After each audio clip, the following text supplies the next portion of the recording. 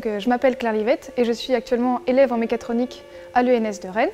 J'ai effectué une classe préparatoire aux grandes écoles PTSI-PT au lycée Eugène Livette à Nantes. Quand je suis rentrée à l'ENS, j'ai suivi le parcours classique composé de deux licences 3 en mécanique et en électronique associées au parcours de la formation.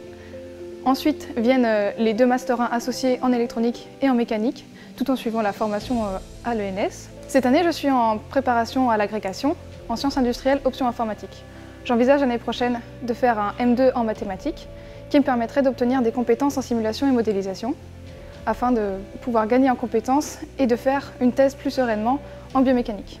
Donc euh, ce que je cherchais à l'ENS, c'était à la fois euh, une école qui me permette euh, d'améliorer mes compétences en électronique et tout en suivant les cours en mécanique, ce qui n'est pas permis dans toutes les écoles. Pour moi, la valeur ajoutée de l'ENS, c'est une école familiale, donc je m'attendais à trouver à la fois une petite taille, avec plein de compétences. Ce que je cherchais aussi, c'est pas c'est de continuer à la fois en mécanique et en électronique et c'est ce que j'ai pu trouver à travers tous les professeurs qui me permettent de découvrir tous les aspects différents de ces matières.